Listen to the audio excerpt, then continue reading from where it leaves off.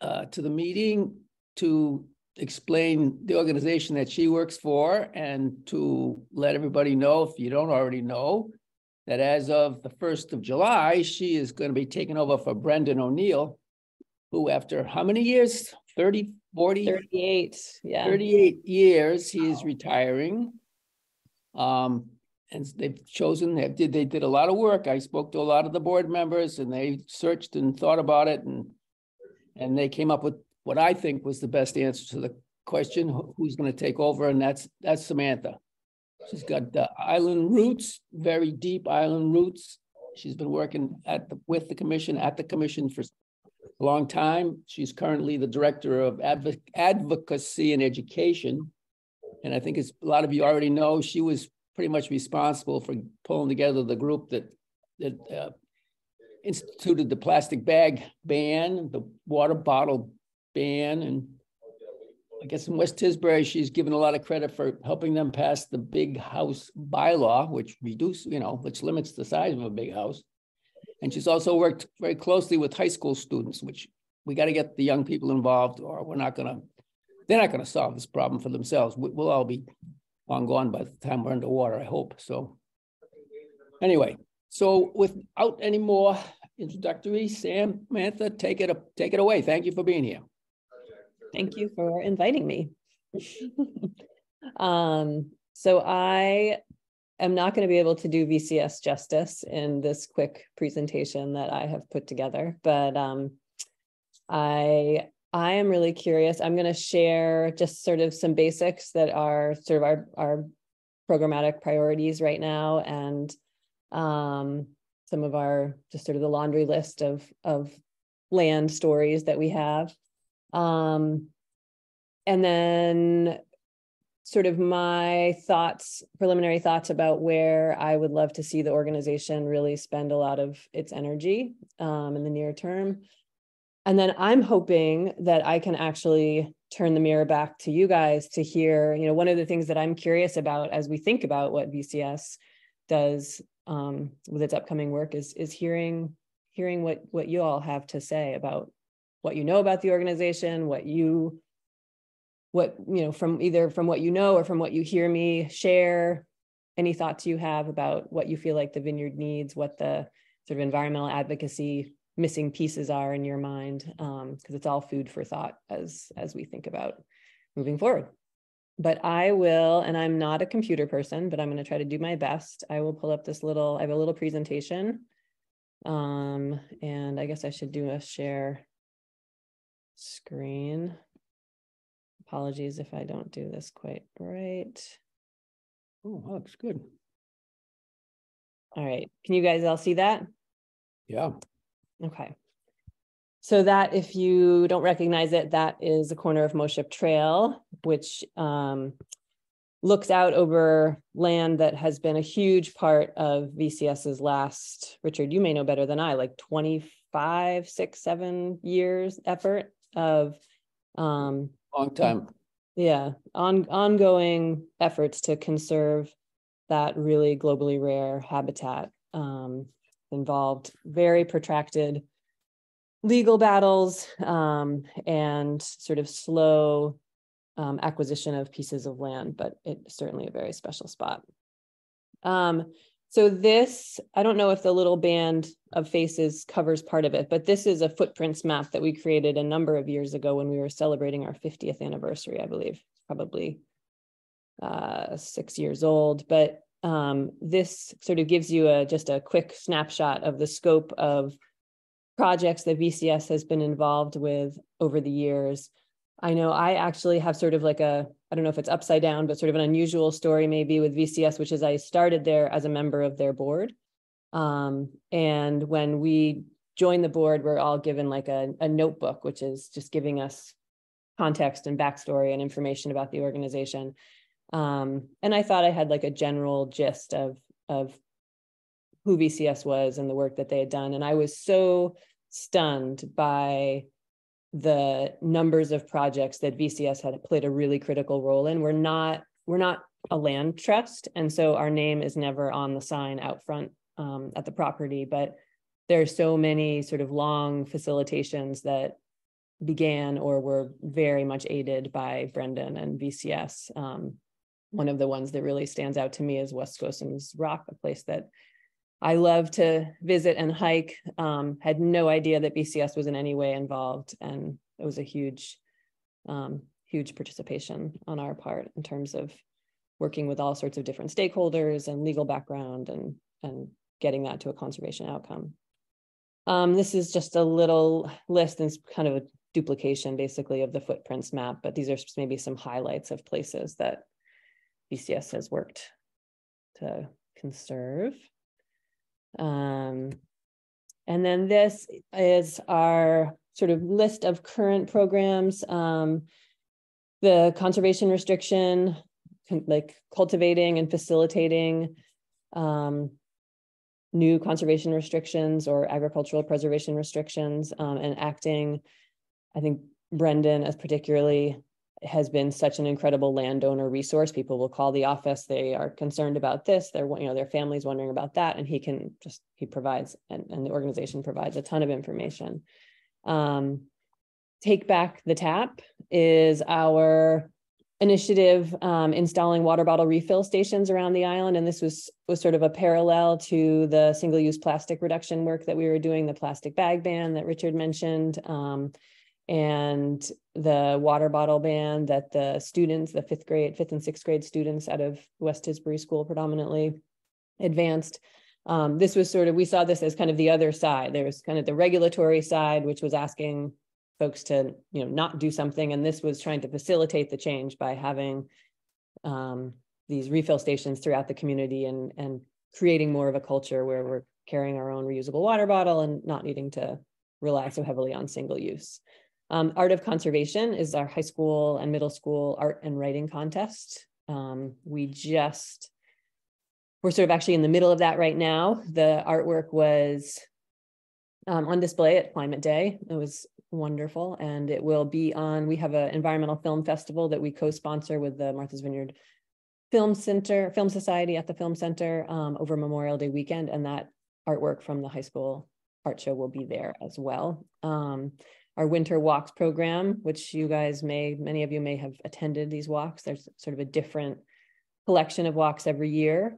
Um, our participation in the Island Climate Action Network, we are one of three steering members that puts together that newsletter and sort of directs the work for ICAN, um, the climate fair, helping Liz organize that. Although we are just a small member of that, that is really Liz and Julia carrying some heavy weight there um, Ponds films. The I'm imagining that given this is the Water Alliance, maybe all of you have seen Ollie Becker's film on our watch that he worked on and released last summer, and we were a co-producer on that. Um, and looking forward to working with him going forward. He has two, two more, I think, in the planning process. Um, Vineyard Lawns is both an old and a new initiative. It's an initiative that began before I was ever even on the board at VCS. And we had you know, information for homeowners about having a more ecologically friendly lawn and little signs that you could put up about the lawn being chemical free and safe for pets and children.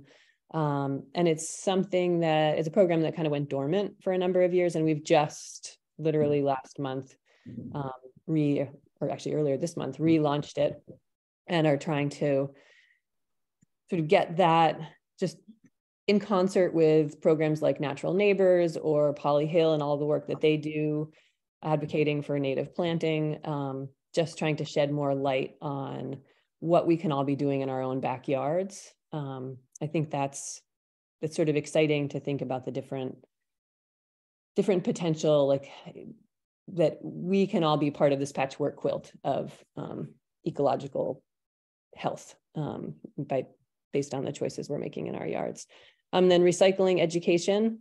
I'm always a little bit nervous about recycling because I feel like we lean on it um, as a way to not have to change our consumption habits, but it doing it right still matters. And so sort of upkeeping uh, signage at all of our transfer stations and having flyers to get the information out into the community is something that we help with. And then of course our, our Earth Day beach cleanup um, that we do every year. And this year was part of the environmental festival at the museum. and a new program called Beach Befrienders, which is actually a month, uh, a monthly beach cleanup. Um, shoot, I think I just jumped. Oh yeah. So then these are just current events that we're focused on right now. The West Tisbury Big House bylaw implementation, um, supporting the climate action plan and different work that's coming out of that. Um, we're following the potential for regulating short-term rentals. Um, the innovative advanced nitrogen septic systems and whether, most importantly, whether that changes their, um, the board of regulations for the Board of Health have sort of been a backdoor uh, hold on certain types of or certain areas for development. And if if the septic system actually open up more opportunity for development, just kind of being aware of what that might look like and whether there are new specific regulations needed to fill that gap that the current regulations have sort of been doing by default. Um, community composting, hoping that municipal composting will be something that we have access to soon. Um, and always tracking the DRI projects at the Martha's Vineyard Commission and submitting testimony and then the picture that you saw at the beginning, Moshup Sanctuary, which is a current event, but a very long-standing ongoing one. Um, but I think one of the things that, or, or the thing that we just scratch our heads about and think, stay up late thinking about at night at VCS is the rate of development on the vineyard and the loss of open space. And this is a statement that comes straight off of our website, um, and it's coming from actually from Martha's Vineyard Commission statistics about um, predicted growth and development um, that of our remaining open space or buildable open space, 80% is on track to be developed and 20% is on track to go into conservation. And that what that looks like is 7,000 new homes and an additional 9,000 guest houses and a doubling of the population, sort of the short version. And, and what does that mean for our community? Um, this is just another way of looking at the numbers. And I, the one that is, or the three that I've underlined that are sort of the most striking to me are the fact that um, as of when these numbers came together, which I think might have been 2018, um, there's about just less than 13,000 acres that are fully subdivided and more like 17,000 that have the potential to be fully subdivided. Um, and that if, if I think about that sort of more than doubling of the developed space on the island, that is incredibly concerning to me. Um, this is a little graphic that we developed a number of years ago, which I find really interesting. We developed it as an advocacy tool, hoping that the you know, the pie on the right there that shows 41% conserved um, would would be shocking and would sort of be alarming to people. I actually find it problematic because I I wonder if people look at this and think how you know how could we expect more? Like this is this is pretty you know this is it's not half and half, but it's pretty darn close. And is it reasonable to expect more than that? Um, and so I'm just really curious, and this might be something that I would I'd be interested to hear your thoughts afterwards. How we keep the conservation sort of ethic and um, the urgency and the priority forefront on the vineyard. Like I, I sometimes have conversations with friends where they just feel like, oh, we're done. We have, you know, we've got great, great places to hike. You know, come on, you can't ask for more.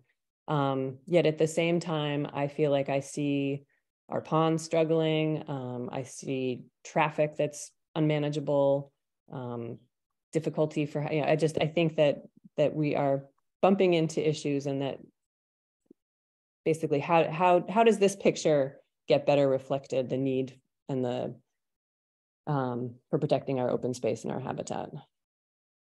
Um, and then this, as far as what I would love to see uh, VCS prioritize going forward, it's basically this work and the paths to slowing growth. Um, and I sort of think of this in three buckets, which is kind of the top priority being conserving more land, that that's, that's a, a gain. Um, and then increasing the tools that we have to decrease the rate of development. That's sort of slowing down um, the loss. And it's also giving us time to work on conservation gains. And then what I mentioned briefly before, this potential for improving ecosystem health of developed land, optimizing our built environment. And VCS, I think, plays a very important role in education, looking for opportunity, seeking out funding, and thinking about needed regulation. Um, so land conservation, um, that would be sort of the first, my, my primary bucket that I would have us think about. Um, VCS, you could see from that footprints map, did a lot of work facil facilitating land conservation and still does some, but it has increasingly fallen to, you know, it's our colleagues who are staffed for that, who maintain property, have, you know, that we really tend to sort of rely on them to get the work done and to send them projects. Um, but I just wonder if there, if there is a role for VCS to play. Like I, I'm very curious about what all of our colleagues are doing, where they feel like there are opportunities that are beyond either their interest or their bandwidth. Um, is there something that VCS could be doing to be helpful? Um, it may be that just being a general environmental advocate is exactly the role we should be playing and is most helpful. But I'm just curious about sort of reevaluating that. Um, and then being um, just sort of a louder voice for land protection in general and uh, in service of ourselves and our colleagues. Um, to, to again, I just feel like I don't, I worry that it is a, among among all the pressing priorities that our community faces, that it is a little bit falling um, by the wayside. And I, I just feel like it is so critically important that our climate resilience, our, um, our health, our spiritual well-being, uh, all of it ties back in my mind to having healthy and functional ecosystems. Um, and I think we are on the vineyard, and I am sure I am biased having grown up here and loving it. So we have a unique and daunting responsibility to live in such an incredibly special place um, and be tasked with making decisions about how it's managed and how we we bring it into the future what what do we protect of it will will we um you know, will I, I, I think the place itself, its nature is what drew and draws so many people here. But in our love for it and building our houses and upkeeping our infrastructure and expanding our infrastructure, are we overwriting it um, in a way that is going to be, at the end of the day, a terrible loss? Um, and so I hope, I hope, and I think, and I um, strive that that is that is not the case and that we can find a balance but i think it takes a lot of work. Um so anyway i think i touched on this but like just curious what the missing pieces are and opportunities in addition to current approaches for land protection. It may be that they're it's really well covered but i would like to dig into that a little bit. Um donor interest. Is there expanded capacity out there that we haven't tapped into yet um, and then this one is maybe a touchy one, but tension with affordable housing. I feel like uh, conservation and affordable housing get often pitted against each other as a either or. Um, and could it be a yes and or however you say it? Like like how how do we? Both of them seem like such critical uh, aspects of a thriving community. And so how do both of them work together and come to the fore? Uh, and maybe some of the other pieces, um, whether it's not to pick on it, but second home development, more space made there to allow these two things to um, be further prioritized. And then understanding vulnerabilities to the protected land we have now and ways that we can engage the community in this work. Um, slowing development, curious what new and creative ideas might be out there um, whether it's i mean i just i don't know i just feel like we're on this freight train that is very quickly um, going to determine the outcome for us. And so I'd like, I would love to get very creative about what's out there that's been tried, what maybe in another community or that someone hasn't thought of yet, but just going through a really robust brainstorming and research process. Um, and then these other things I mentioned before, whether we will have additional development potential in areas that before were limited by Board of Health regulation and what is an appropriate uh, potential regulation structure for short-term rentals and fractional ownership and second homes. And this, I think, is again more things that I pretty much have touched on, but just where where innovations that we haven't tried? What are things we haven't thought of? What have we tried? What were the results? Does it bear trying them again? Um, what are do we really understand what the obstacles are? Like I'm always curious. I think it's very touchy to talk about slowing growth on the vineyard. All really probably all of our even my salary working for an environmental nonprofit, I am fully aware ties back to the strength of the economy here and even the second home market and wonderful donors who support our organization. Um, and so it's a very sensitive subject to talk about slowing the growth, but I just wonder again whether as a community there um, there is a balance that doesn't have to be frightening and whether there may be more alignment amongst different like the building community the conservation community um, but i think it, I, think we make a lot of assumptions. I think it would be great to really know what the real obstacles are so that we can approach them. Um, and i also wonder about whether um, some of the goals that came out of the climate action plan um, are just naturally in alignment with changes in possible development patterns or slowing growth, looking for those opportunities because that's just such a win-win if it's building our climate resilience and accomplishing the work of the CAP and helping with land protection. And then again, I just, I'm always curious about the, how to get the community really tied into this work. Um, and then improving ecosystem health on developed land, um, I mentioned the Vineyard Lawns program.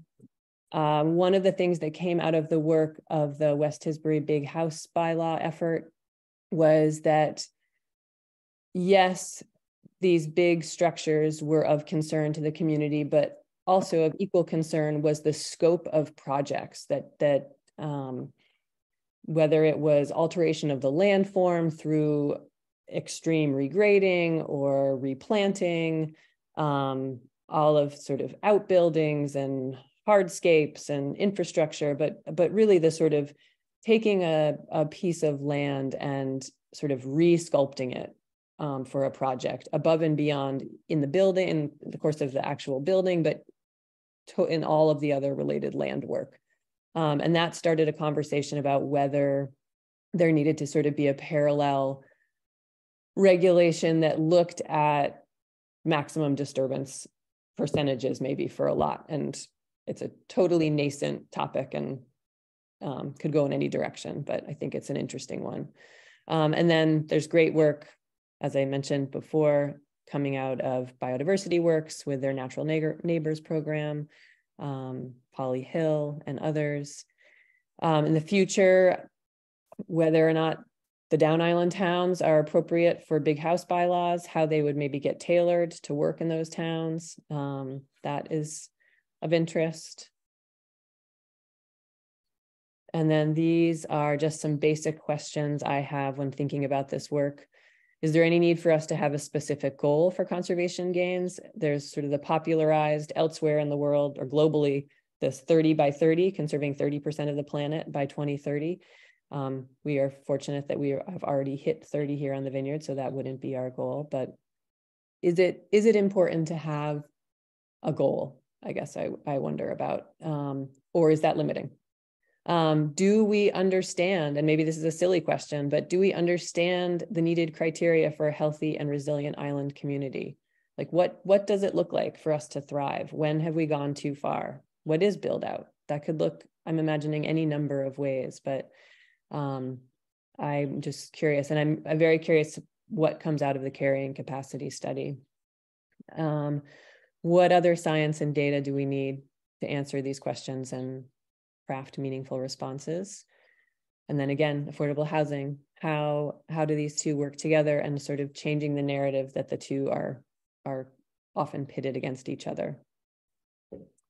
And what builds connection and commitment to this work in the community, which gets to sort of the final piece that I think is so important to VCS's work, you know, in addition to regulation and advocacy and um, sort of digging into land protection and slowing growth, I think that um, you know what drives that is caring about this place and creating for our organization creating opportunities for people to like many of our colleagues do as well which is so wonderful know this place well care about it know its biodiversity know its natural places um, and have a passion for protecting them and so that is my like super slapdash crash course through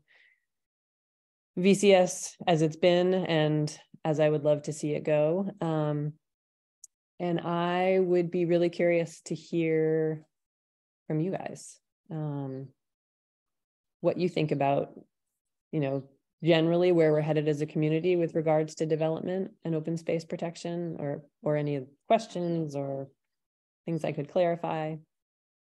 But I'll get rid of this. Well, Sam, that was fantastic. That was, did you just, did you put that together since we talked, since we talked last week? I have a few of those slides from something else I did, but yeah, pretty for the most part. Wow. but I apologize because it was No, whatever. that- You brought, you, I kept thinking of other things and then you, you you would bring them up. So, I mean, you've covered, unless, you know, I'm sure we'll hear from other people, but I- as far as I'm concerned, you covered all the issues. There's just a lot of questions out there, a lot a lot of of questions. Yeah. Oh, No, I love every time I was like, I'd love to. I'm sure there's a creative idea out there somewhere. That's not an answer. Well, but that was a great presentation. More people have got to see that presentation. That, that was fantastic. That was fantastic. All right, open it up. Uh, stick your hand up if you know how to do that. That would make my life easier, but there's not that many of us, so I should be able to see y'all. Okay, I see a real hand right there. Dan, Thanks, Richard. Thanks, Sam. It was great to see your name in the headline, hearing thank about that announcement. Really good.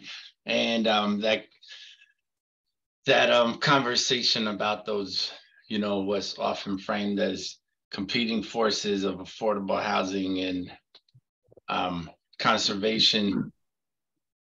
We are having, the, uh, you know, discussions at the Tisbury Master Plan level that I've been involved with that I think definitely have implications for not only you know that entire paradigm but also for different towns as well which is basically you know we all recognize that Chilmark, Aquinnah, what you know they can they are made possible by virtue of our down island towns right? And the density found in them the workforce housing predominantly founded by that founded they found there. Um, so there's conversation about same thing. Should we be promoting, accommodating growth, you know, as far as population growth goes in Tisbury? And if so, Mm, should should some of that come with expectations for the up island towns, right? Like I, I'm just kind of speaking, you know, just very conversational here, but Yeah. I don't think anyone, in- I don't think Chilmark wants to necessarily have a zero, you know, as far as their affordable housing unit inventory goes when it, when the existing units on the books sunset in, in the upcoming future. Um, but at the same time, they're not going to really be the bastion of affordable housing, right? I think everybody recognizes that as well. So if a, if a down island town, in this case, Tisbury kind of agrees to take on that role and kind of double down and promote density in those kind of select areas so that up island towns can kind of re- you know, remain and retain the character that they have now, are there financial kind of arrangements that can be made to assist and sort of augment that effort? And I and I bring it up only because I I I'm always wondering, you know, how does that conversation take place? How do you move that sort of dialogue along amongst the people who actually make those decisions, right? So within the Chilmark um, policymakers and elected officials, right? And I, I would imagine if it's a position that VCS kind of takes and has some, you know, sees it through that kind of lens, I would imagine that it's their board members who live in, often live in one of these six towns that hopefully can be part of, you know, building traction and um, kind of momentum within their respective towns. So I'm being a little presumptuous thinking that is your position, but ecologically, I'd be curious to know if, you know, you feel like you guys are trending in that direction. Um, you know, knowing that additional residential units are needed, but we need to be, of course, careful about where they go, right? Mm-hmm. And, and who they are for. Yeah, no, I think that um as far as when you say is that a, a trend or a direction that that we're going in, do you mean this notion of more density in down island and preserving rural up island? Is that what Yeah, I think so. I mean because I, I think you know while we don't all agree on like the the rate of growth, like those numbers that you rolled out is probably not something you guys are in favor of, right? It's a, it's, yeah. uh, but rather we agree that, probably agree that either some growth or at least infill will need to take place to accommodate the demand for workforce and community and affordable housing. Um, so how does that then, you know, fold into the converse, the conservation co- conversation, right? right? And how do those things both sort of move forward in tandem. Yeah, yeah. I mean, I know that we definitely favor um you know the development in areas of infill close to services um i listening to you when you first started speaking just makes me realize like how biased i am being you know i'm i grew up in west tisbury and so i like that's sort of the lens that I see the vineyard through is is having this sort of like rural West Tisbury childhood and um and that it is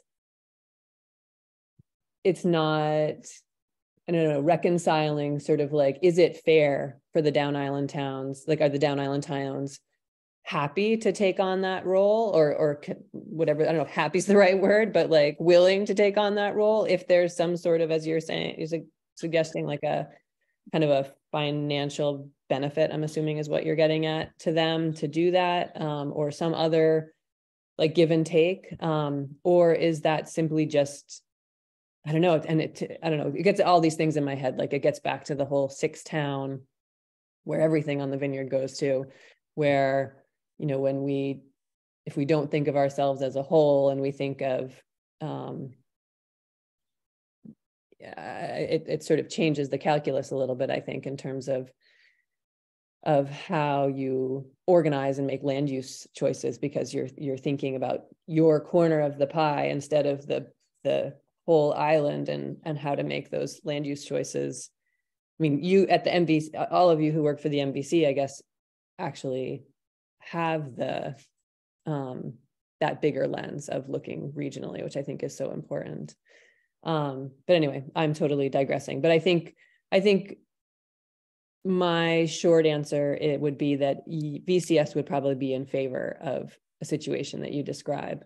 I'm wrestling myself with is that fair? um, right, right. And and I don't even know if that's you know Tisbury's position on this. It's just it's been a com- it's been a conversation that's definitely taking place and knowing that significant investment will be needed to achieve some of those housing goals in in those down island towns it's just it'll inevitably inevitably go to how do we pay for this right that that, that type of thing but, but I'll, st- I'll stop there. Yeah, I think you make good point. Um, this whole controversy about the regional high school, um, budget is just sort of an indication of what it's, what it's like to share the expenses. But the project that just got approved next to the ice rink, I attended, I think, most of those VCS hearings. And I never heard that, nobody ever asked that question. I thought about asking it, but I didn't ask it. Who's gonna pay for these kids to go to school? I mean, I think it's a great project. I'm all in favor of it. The town of Oak Bluff shouldn't have to take, pick up the tab for all those kids to go to school. So I just, that's my, I just want to weigh in. Rachel, go ahead. Uh, on, I mean, this is obviously a hot topic and Samantha, thank you for taking on the, the huge responsibility and acknowledging the, um, you know, the tension that exists between the two of them. And I would say, you know, yes, it makes sense for affordable housing to be near an area where there are more services. Um, but as somebody who grew up in affordable housing, um, I would say a lot of people want to live in the community where they work. So, you know, to say, yes, you have, you know, affordable housing in Tisbury, but you're working in Aquinnah or, you know, you're working all over the island, that means you're not really going to be a part of those communities. And I think that's something for VCS to take into consideration when they're thinking through areas of conservation and community and where affordable housing might fit in. So it's my two cents. Thank you. No, I think you're bang on. Like I don't, I don't, I get nervous about, you know, as much as I like diehard land protection, that is like my just passion. um, I get very nervous about any situation that um, starts to, I don't know how to articulate quite right, but like starts to sort of parse things too rigidly. So if we, like, for instance, if we were to say like, we're really going to focus on doing all affordable housing and infill in down island and we're going to really focus on doing all conservation up island and maintaining that rural character that would make me very uncomfortable. Um that just it feels like yes services and or proximity to services and um infill in already developed areas i think there's a lot of I just don't think it needs to be hard and fast one or the other. I think there's like a lot of logic to that and, and importance to that, to taking advantage of those opportunities, but not making other opportunity, not at the total loss of other opportunities, not making it also just like there there is no affordable housing in Aquinnah or Chilmark or West Tisbury. That that that also needs to be for the for other reasons, for like as you suggest, for preservation and and richness and diversity of community. Like I think that's that's in that's to me those are the two things that the vineyard is in the crosshairs of losing is it's like richness of community and its richness of biodiversity. And like what two things could be more important? Like those just seem like the two tenants the two pillars that hold up a community are its people and the place that that it houses them. Um and how do we how do we support them both really carefully Liz, Hi, um, thank you for that presentation, Sam, and I'm so happy for you and for VCS and for the island that you're in this position. It's really exciting. Um, and, you know, I, in thinking of the big picture, you know, continued growth is just not a sustainable economic plan. It's just, we're going to run out of our resources. We're gonna, our ponds aren't gonna be usable. Our fresh water is gonna be at risk. It, we just have to find another way. And with climate change, we need all the natural resources and uh, we they're all stressed from climate and we need to protect as much of it as we can. And I'm I'm going to say this, and I'm I'm not going to say it. I'm just going to say it from a personal perspective. I, I I think we should start buying as much conservation land as fast as we possibly can, as a community. Um, I don't know how else we're going to protect the land and the island.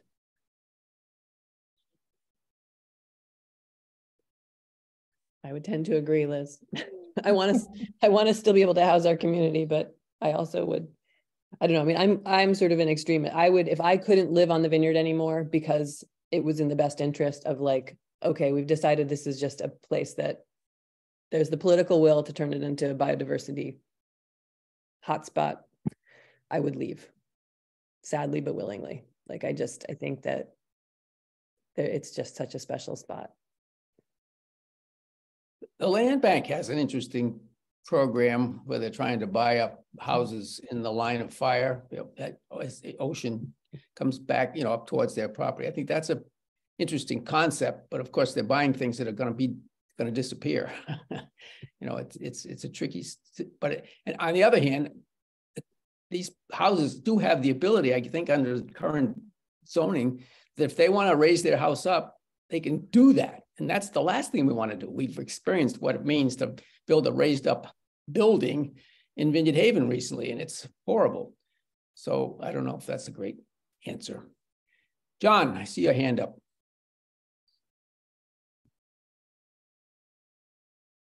Sam, thank you. Uh, That was an extraordinary presentation uh, that in its depth and breadth um, shows off the incredible significance of VCS, which I, I think is um, often and perhaps for many uh, a hidden asset um, along the lines of, well, for example, uh, looking at the vineyard, the publication of the Vineyard Open Land Foundation many years ago, you know, the degree to which I think many people, including people I'm closely related to, don't know why it is that they're able to enjoy the views along roads as they drive up island and elsewhere. And it's because of work by entities like VCS and the other organizations on the island. So pursuant to that, one thought I have is that perhaps everyone would benefit, including VCS's partners, if VCS uh, and its role was flagged and noted uh, in every context, including particular sites that other organizations own or manage, um, so that uh, if it were the case that VCS is more known than what was implicit in what you stated, which is that funding limitations, cons- well, funding constrains what VCS can do.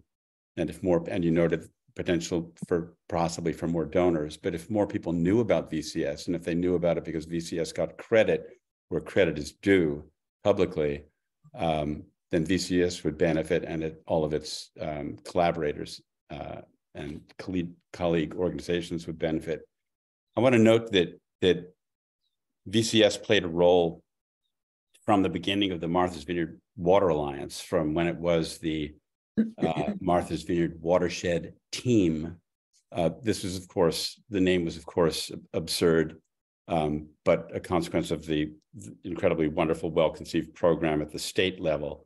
Um, I, I never liked it because there is no Martha's Vineyard watershed as such, and team makes it sound as if, uh, well, we've already got a shortstop, thanks. So you you know come back some other day. Whereas Alliance is very open. But Brendan O'Neill was at the table literally uh, from early on with the the watershed team, and then when that state initiative died, uh, and people within the, t- the that group chose to continue as the alliance. Again, VCS uh, played a key role. And VCS in that context also overlapped inextricably with Rick Karney's efforts for the Blue Pages. And my recollection is that it was VCS's board member, Joni Ames, Mm. who, when working on the Blue Pages, came up with the, the brilliant name of Vineyard Lawn. Um, I also want to point out that as far as I can tell, and I'm not a professional historian of this, um, that it was VCS, which remember is the Vineyard, I'm saying this rhetorically, is the Vineyard Conservation Society that really first emerged as a vineyard environmental organization. And that was when uh, the late mate Edie and others, including Joni, uh, led VCS's um, uh, ex- extremely significant efforts to address uh, all of the issues that that were being dealt with by the Water Alliance and before that the Watershed Team. Uh, and I think that that's another very important aspect of VCS. With respect to some of the things that have been discussed, in- including development, the percentage, um, I mean, I have, I have friends and colleagues that are in uh, you know, nature needs half and uh, half Earth. Uh, incredibly, those two entities remain in parallel and not overlapping and, and coordinating. Uh, and now we're talking about 30% instead of 50%. But with respect to the numbers on the island and the vexed issue of, of affordable housing and the good points by Dan Doyle um, about, you know, the share of, of Up Island, I'm just wondering about the, the, it seems to me the clear utility of running the numbers. If we look at the trade-offs and what the costs are and what the benefits are, because we have a limited array of options open to us. I mean, one of which is burying our heads in the sand. And then, but that's a, we can just base our scenarios on what the outcome of that will be based on what we know so far. But it might be easier to talk about these things in, in terms of some of the questions that, that Dan raised and many of the points that you raised, Sam, by just looking at the different scenarios that are consequential to uh, choosing any one of the, uh, the different options that we have. And that may make it easier to engage the public. Uh, because then rather than pres being presented with, with something that is in a sense without any kind of context or they have a basis for comparison. But again, my thanks to you and best of luck to you with this. Thank you. I'm gonna need it. By running the numbers, do you mean sort of like, um, sort of forecasting, like economic outcomes or, um, for the different scenarios? What, what would the, Well, yep, good point. Uh, well, for example, I think at least eighteen years ago, uh, the commission had run the numbers with respect to the rate of development and uh, one aspect of that being the number of cars. My recollection is the very vivid point that if the if things continued uh, as they were at the time, then eventually um, the island's road systems would simply be a giant parking lot. So with respect to affordable housing, if there are different options open with respect to up island versus down island, or if it's within Tisbury, where it is in Tisbury, and if it, it's a certain number of units that are going to be built, what are the options for placing how, in this case, affordable housing in one place ver- versus another? And what are the costs and benefits of the different options for that?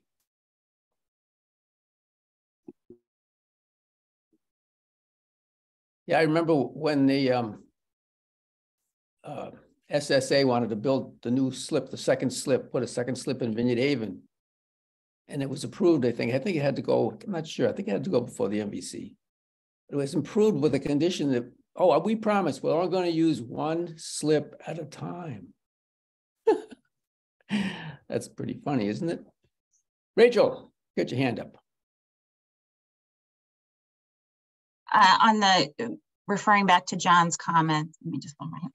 Um, on running the numbers, I would say, Sam, um, one resource that um, you were happy to share with you um, is that in the process of doing the reports on all up island ponds for the watershed management plan, we did put together more recent development, um, you know, numbers with the help of Chris Seidel from MVC.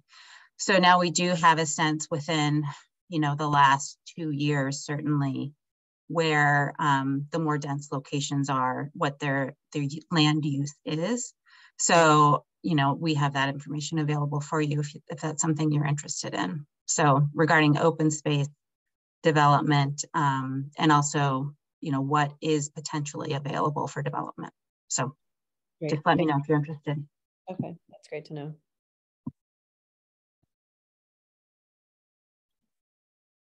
Yep, Sherry. Um, I just wanted to say Paul had to go to another meeting, Paul Bagnall, uh, but he said, Sam, you will be great. So I wanted to share with you. Very generous. Coming from. Paul, coming from Paul, that means a lot. Um, I know, maybe this is, might be like pie in the sky, but is there any way the island could do like a brief, I know this is really pushing it. Um, I still believe in unicorns, I think, but to do a master plan for the island, it's like, what do we want to see this place be? Um, you know, they all need to, they, you know, finances are making them start to realize that they need to work together more. Um, I don't know. I, I would love to see it, but I just don't know. Have- you felt the temperature of any of the towns about, you know, their, their thing? Well, obviously West Tisbury with the big house, they're thinking about it.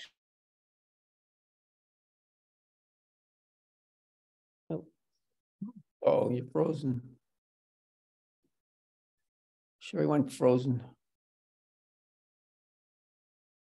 Um, until Sherry unfreezes, I'll start to answer, which is, I, I mean, I feel like we a bit have the temperature of the towns, but again, I don't, I don't, I, I worry that we sort of have an, uh, you know, some, some information comes out of, you know, we read it in the papers, it comes out of town planning board meetings or MVC meetings or whatnot, but um I still feel like there there is a degree of assumption that threads it all together. Um and so I to Sherry's comment about, you know, is there the need or the ability to have kind of an island-wide master plan? Um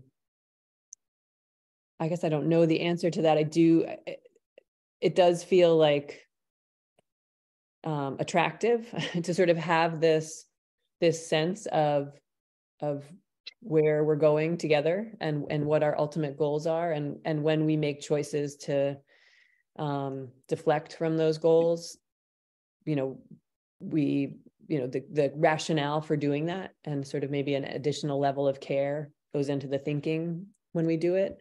Um i also am just so I would love to better know the temperature of the community in terms of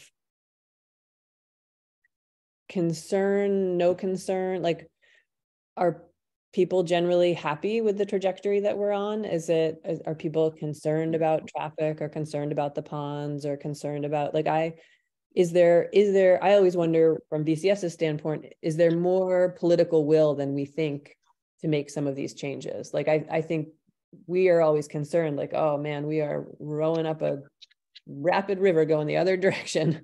But i just sort of wonder how much that is the case. I feel one of the things that i would love to somehow think about how to create is a forum to have this kind of a conversation. Like what what and it it's probably lots of little forums that you're knitting together but um are are we worried that the vineyard is gonna you know some some people i hear people will, ta- will sort of throw around like oh it's going to become like the hamptons or oh it's going to become like the most densely developed parts of the cape and and then you're going to actually see you know a lot of the the money that's driving the economy go away because it's sort of been like quote unquote like ruined. Um is anyone worried about that? Um, not even thinking about it from an environmental standpoint, but just sheerly from a like economics and um, community growth and character standpoint. Um, I don't, I don't feel like I have a real, I have like assumptions, but I don't feel like I have like a hard and fast read on that. And that to me is a big missing piece. I, I just want to chime in quickly. Let me get two hands up here. Um, it's about, it's about, I, I feel like it's about fighting the money. You know, the vineyard has become an investment where you can't, you can't lose, you know, unlike the stock market. Prices just keep going up. And people don't realize that something's going to happen and that's not going to be the case. But right now, people are willing to spend and spend and spend. And that's what we're fighting, I think. I think the local community sees it and they don't know what to do about it. And then you have the, I, I don't know how to refer to the, the immigr- immigrants that we have here that have come here to work, to make money so they can send it back to their families, so their families can survive. And they're loving it because the, the more lawns they get to cut, the more leaf blowers they get to blow, the more money they make. and so we're fighting that too. It's, it's, it's, it's really a, a- bunch of different economic levels that are sort of trying to make it all work out, and I'm just not sure how to do it. And that's why I think VCS is, is one of the toughest organizations. You guys aren't out there to make friends. You're not like Sheriff's Meadow. Please give me money and we'll do whatever we want with the property next door to you. You, you are there to fight the battle, take on the legal. If you need to challenge somebody, you take them on. That's what we need. That's what we need, but it doesn't, it doesn't always attract the donors that you need to, to do the work you need to do. Go ahead, Liz.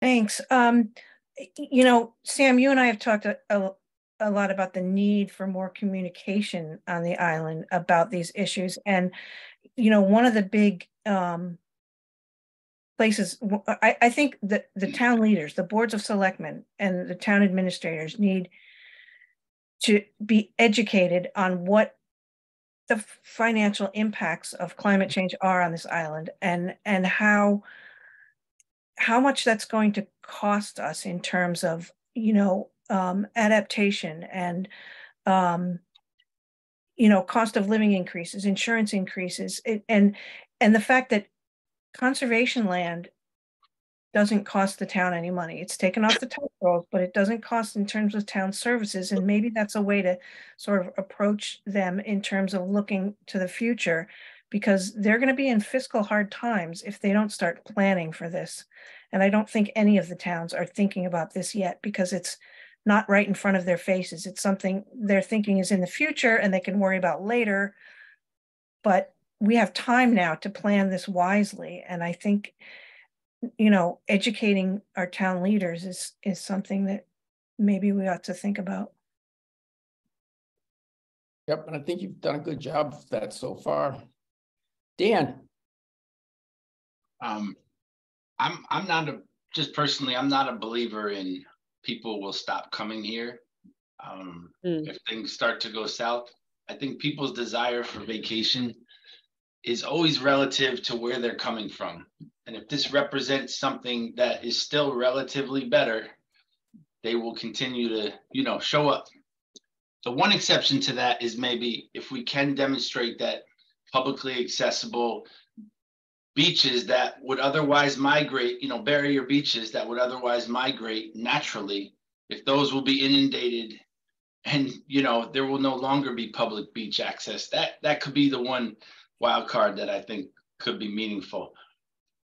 Um, but I, where was I going with that? Well, I, I'm just, I had another thought, but I was also curious, what is the, the, what is VCS's distribution list? Cause I have to say, you guys do a really good newsletter. I get a lot, you know, we all get flooded with our inbox. It just stacks up eh, on distribution lists, but you, I noticed like you guys are the one newsletter that I actually try to set us, go out of my way and make sure that I read it, cause I think it's done really well.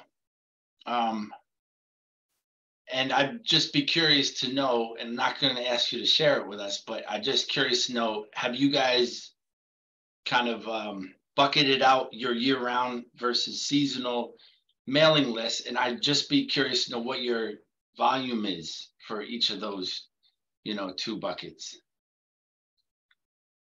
Yeah, that's a good question. And I don't even know that I can answer that with specifics. Um, I will say, I will tell, I will pass that on. Jeremy gets, Jeremy Hauser, for those of you who don't know him, is my colleague at VCS and he is responsible for our print and online media and like pretty like wholehearted, like, like we, we help him, but he pretty much does it. He's amazing. Um, Okay, so I will pass that on to him. great. And I, I, Um, oh, sorry, go ahead. no, but as far as as numbers and year round versus seasonal, um. I'm, I bet Signy would know, Signy or Jeremy may know. I actually don't know what it is. Okay, and and here's where I now I remember where I was going with the other um part of this. You know, Richard brings up that good point. Like there is a, an economy that relies on a lot of these services. So I think to the extent that we can, in a compelling, a really compelling way, document, quantify, showcase that demand will remain for all these services. It may look a little different, right? These services may shift a little bit as far as the skill sets and the applications and just the, the, the types of services, but the jobs themselves, you know, the job titles themselves can remain. If people are just working on retrofits, um, renovations, reuse projects as opposed to new construction, that there is still enough demand and the pie is big enough for Mm. for you know the the the the workers in those respective sectors. I think that's going to be important because I just witnessed at you know Tisbury town meeting zoning bylaw was on the table for revision. And honestly, it was only three or four people who would, would have been directly impacted by it that I'm convinced like thwarted that entire bylaw. You know, it, it, it's a few people who are impressionable, or I'm sorry, it's a few people that are impacted that get up and whether they're informed or not, if they get up in opposition to something, town meet, there's, a- there's enough voters that are impressionable that it makes a big difference. So the whole like lead up campaign to any, any types of policy decisions that are decided on town floor, I feel like is really im- important in addition to any, you know, policy decisions made at select board meetings, but um all right, that's enough. Thanks. No, I, I think you're absolutely right about town meeting. It's a it's a wild card. It has to be handled carefully.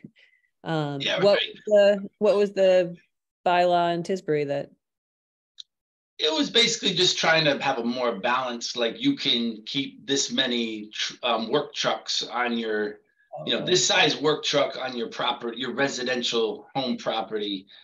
Um, and and and it was something the building inspector wanted to give himself more standing when he goes to enforce bylaws and try to thread the needle between residential and commercial uses in our neighborhoods, right? He actually wanted it. Um, but nonetheless, it went, you know, it, it didn't pass.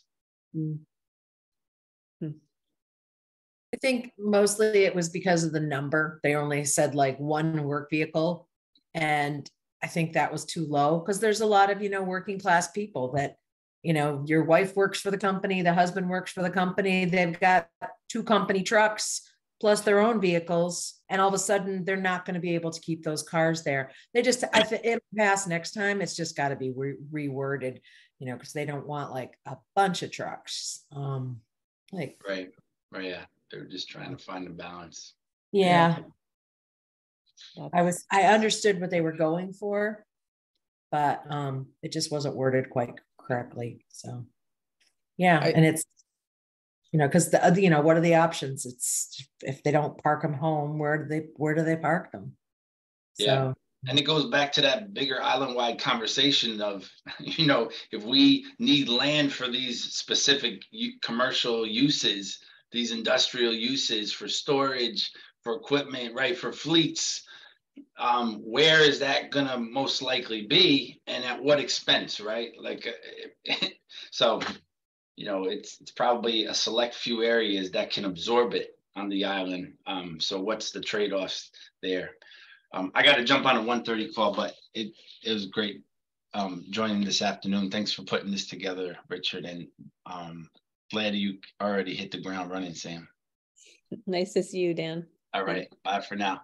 Thanks, Oh, I Dan. think I'm, I- Sherry, I'm gonna make you host again, because I think I'm, I'm host by, because when you left.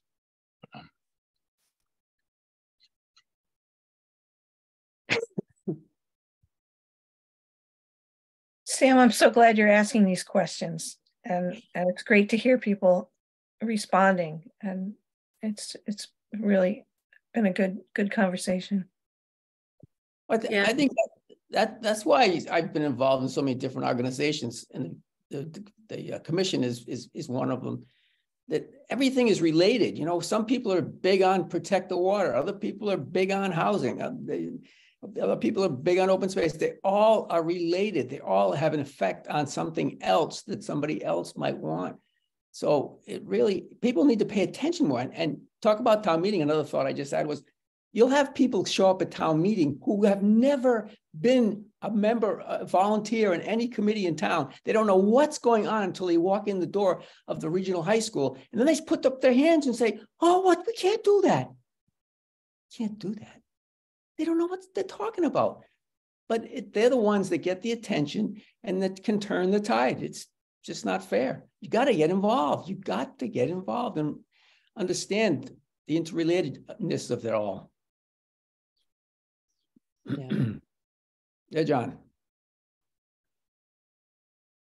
I think the, the thing is, we need to be that much more proactive and effective at communicating and educating. I mean, another of the many reasons why it's great that Sam is going to be at the helm of VCS. Um, years ago, uh, under certain circumstances, uh, late spring, I sometimes ended up encountering the entire graduating class of regional high school.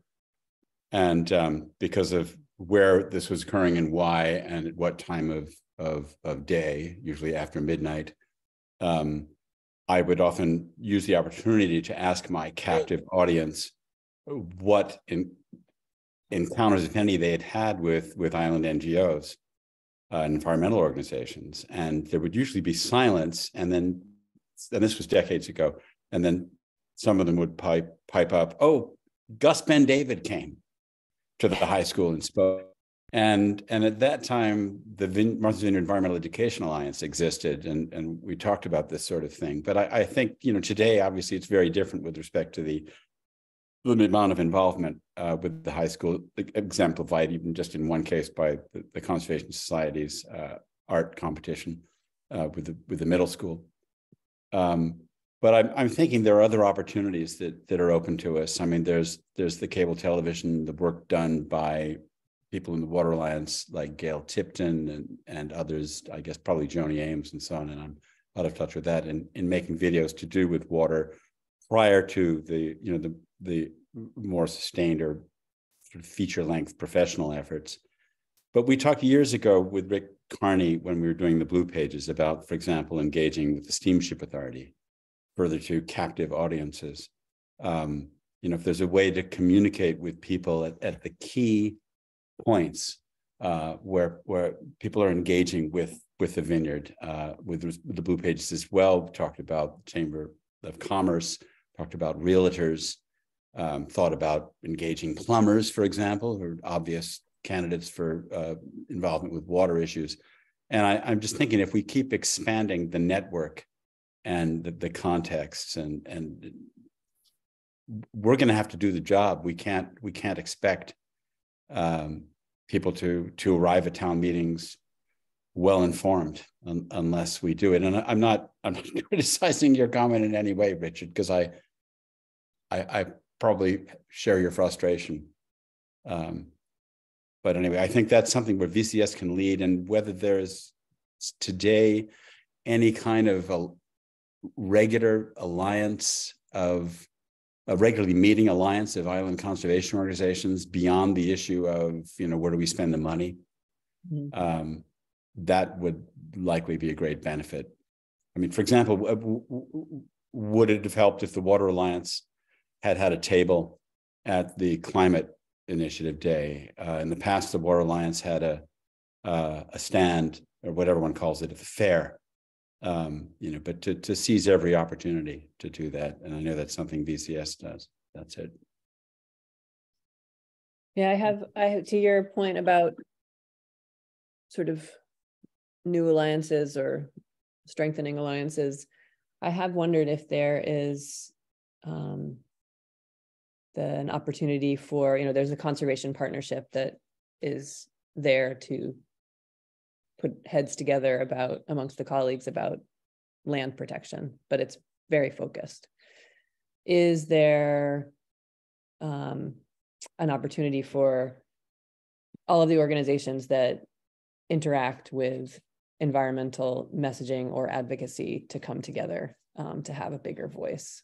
Because it seems like, you know, if you look at sort of go down the list of any recent DRI applications to the Martha's Vineyard Commission, whether it's Meeting House Place or um, I don't know, artificial turf, or I don't want to, actually, I won't name any because I don't want to get myself into hot water, but there's, you know, even Polly Hill and Biodiversity Works and Great Pond Foundation, there's an increasing number of organizations that are voicing concern around these issues. And um, it just feels like it, maybe it's just to me, because it feels like there's like strength in numbers and it's just sort of, it's hard work sometimes. And so to be, to feel like you're a supported part of a community instead of, again, being that little boat against the rushing river, um, it, that is helpful and um, I think would be an interesting thing to pursue.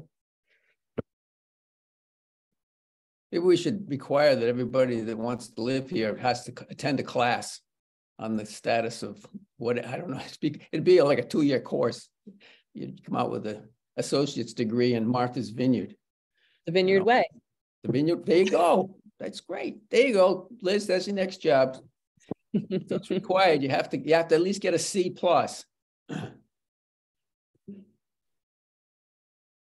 Anybody else?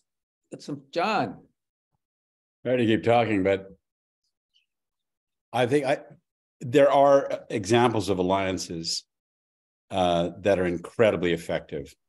Um, for example, out of the pioneering work um, by the late Gerry Studds uh, in having passed through his uh, subcommittee back in 1989, the, the first uh, act to set up a fund administered by the U.S. Fish and Wildlife Service for an endangered species um, that gets bipartisan support and is still going, and that's the African Elephant Conservation Act. There's been any number of analogous acts passed, and over the years, uh, an alliance is formed that is now many dozens of NGOs. You know, some of which, like the AZA, claim. I'm not saying this formally, claim a constituency of several hundred million Americans, which is, you know, everybody who's ever been to a zoo. So these organizations like World Wildlife Fund have enormous clout.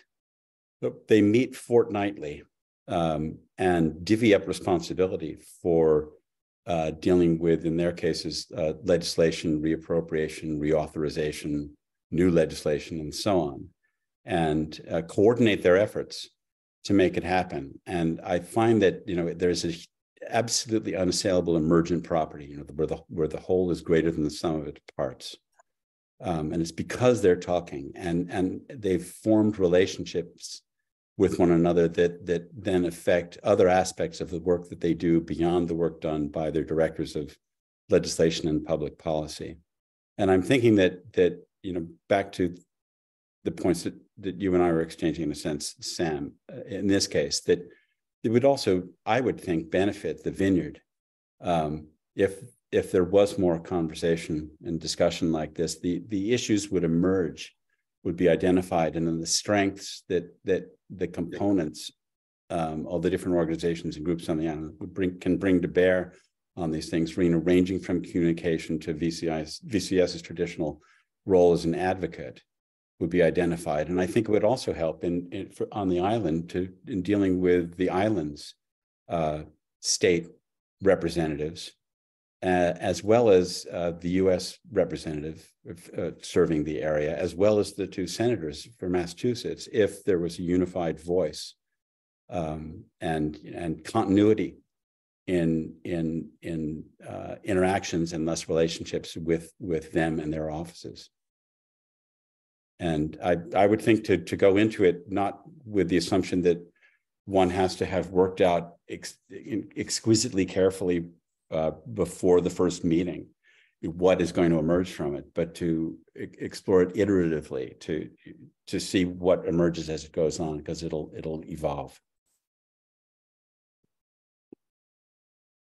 One thing that the, the, we have a climate action task force and now we have a brand new affordable housing task force. I wonder if a land task force might be something to think about.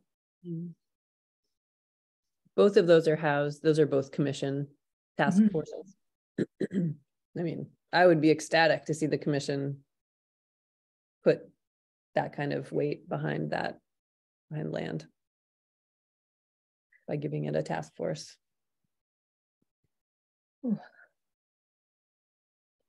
Well, Sam, I think you got your job cut out for you.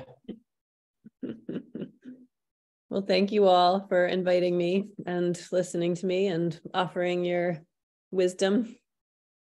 I think the answer to all your questions is we all have to work to, more closely together. Instead of everybody in their own corner, Yeah, that tends to be the way. we can save time and money and get the job done faster. So the next time you have a climate action fla- fair like you did that Sunday, we'll just get together an hour earlier and then sit there and just bounce ideas back and forth. Yeah. Like we all have time, but that was, that was a really great time to get together and just chat and, you know, because we don't see each other, you know, I was talking to the people at the state forest that day. Um, and what they're working on, so. I thought that was the best part of that whole thing was seeing people I hadn't seen before, you know, and getting to talk to them face to face, not on a screen. It's Very nice, Yeah. very nice. All right, is there anything else that anybody wants to uh talk about uh with their own organizations or? Are we done? Just congratulations, Sam. Thank you. I, I've got a Water Alliance question, if I might. Sure. Um, I'm wondering if, if there's a role for the Water Alliance in having it collating and, and making available what the town, the different regulations are, uh, town by town for, for example, what people are allowed to do with respect to spraying, for example, for ticks. Um, I've spoken with people who, who find it difficult to, to learn what's going on even within their own town uh, with respect to that. Um, you know, whether there could be a, a matrix or something available to compile that along with other sorts of information, or, or perhaps also direct people.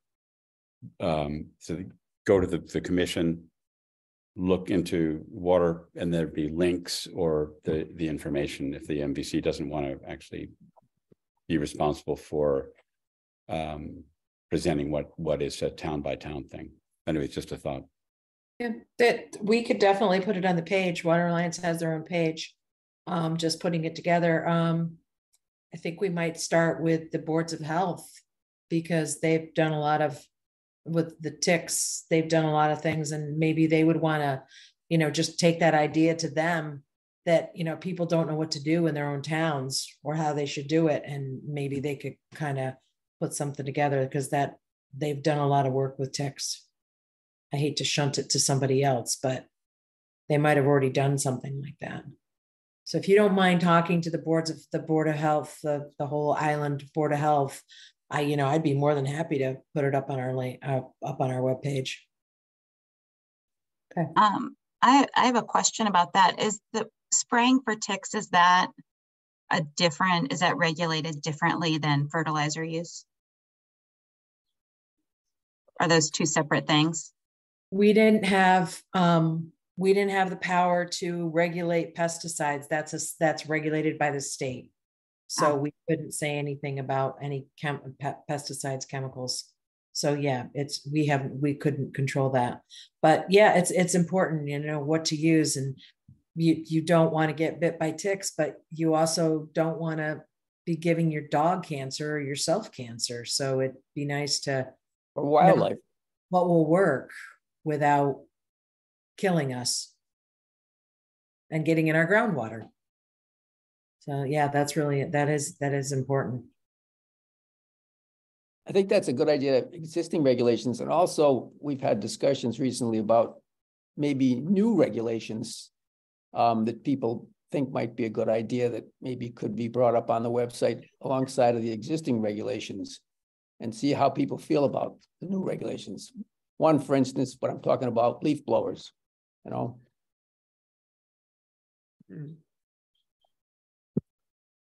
States looking at gas powered engines, just, you know, they, gas powered engines in general, yep. Hmm. Absolutely. Um, guys, if Oh, uh, I can interrupt, I actually am supposed to be, or was supposed to be at a meeting at 1:30, so I should sign off, but thank you so much. great. Thank you so much. for coming, Sam. Best So happy- Congratulations and good luck. Yeah. Thank And we thank you. talk to you often. yeah, reach out to any of us. There's a lot of knowledge here. I would love that. I will. Thanks for being here. Bravo, Sam. Thank you. Thanks, Bye-bye. Sam. Good luck. Okay, anybody else?